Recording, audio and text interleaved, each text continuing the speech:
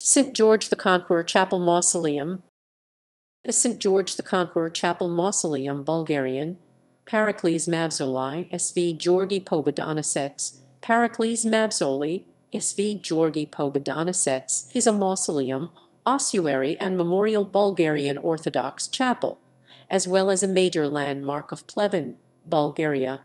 Built between 1903 and 1907 in the neo Byzantine style by the architect P. Koychev, whose project won a contest in 1903. It is dedicated to the Russian and Romanian soldiers who fell for the liberation of Bulgaria during the siege of Plevna of 1877. The remains of many of these soldiers are preserved in the mausoleum. The icons in the chapel mausoleum are the work of Bulgarian artists.